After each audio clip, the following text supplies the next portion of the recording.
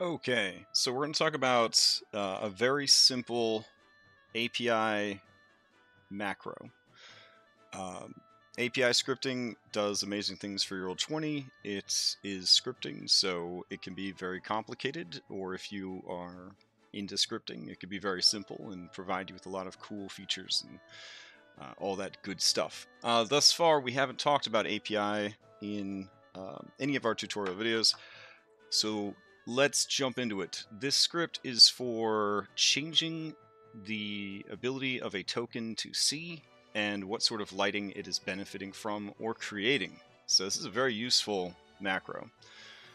The first thing we need to do is go to our campaign page, the login page, and we're going to scroll down and go to settings, and we're going to select from the drop-down menu API scripts. Alright, see there's some red font here with a red background. They really want you to know that this is at your own risk, um, API scripts.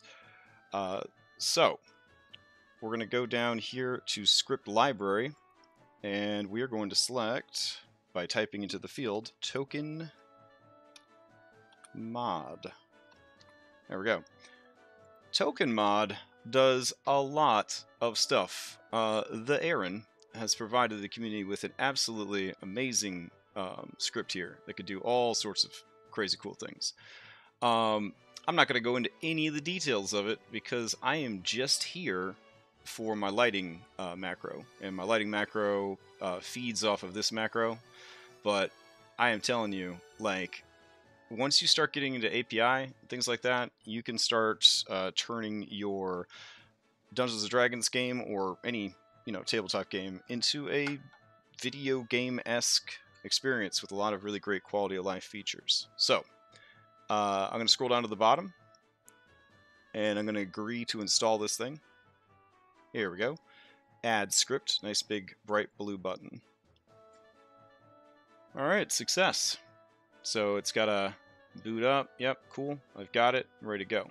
So now we're going to go back to our Roll20 login page. And we're going to log into it. So here we go, launch game.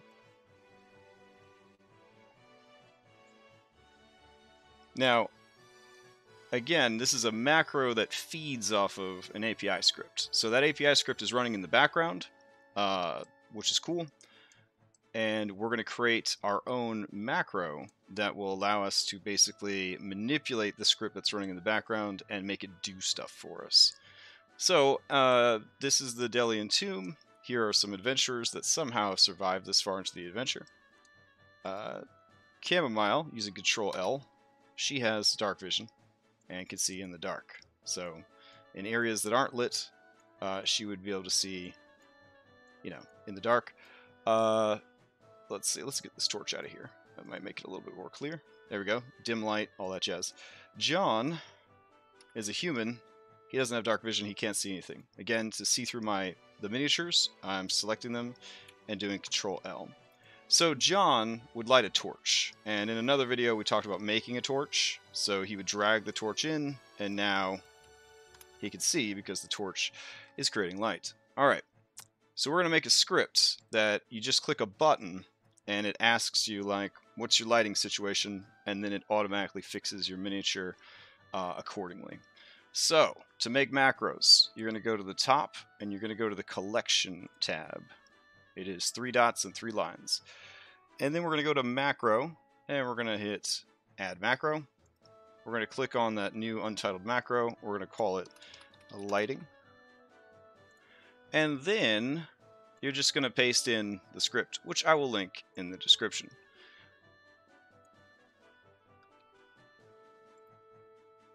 There we go. So as you can see, this is legitimate, like, you know, scripting language here. Um, but basically, it's querying uh, when you push the button, like, what is your lighting situation?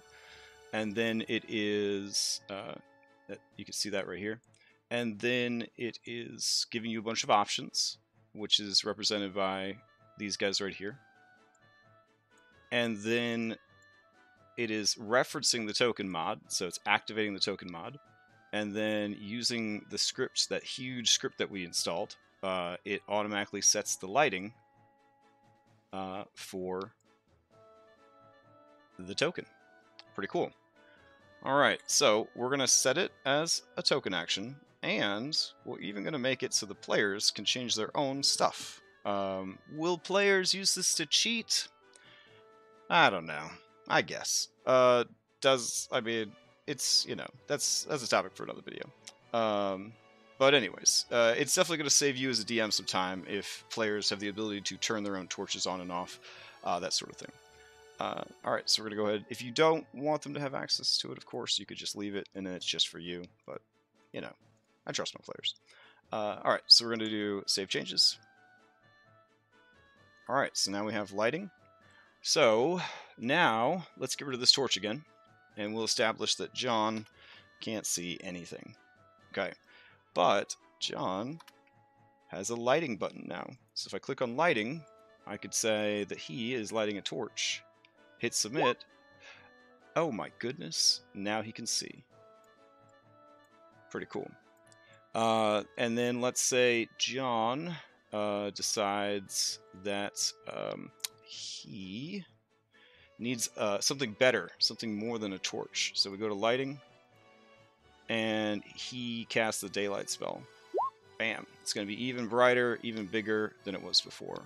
If uh, he goes into the room and the daylight spell fails and he can no longer see anything, uh, we can always go to lighting and turn it off altogether.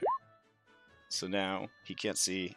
Eh, you know, he has he has no means of uh, creating light. There's just the light that is being created by the room itself. This guy right here. So if this went away, John would be left in the dark.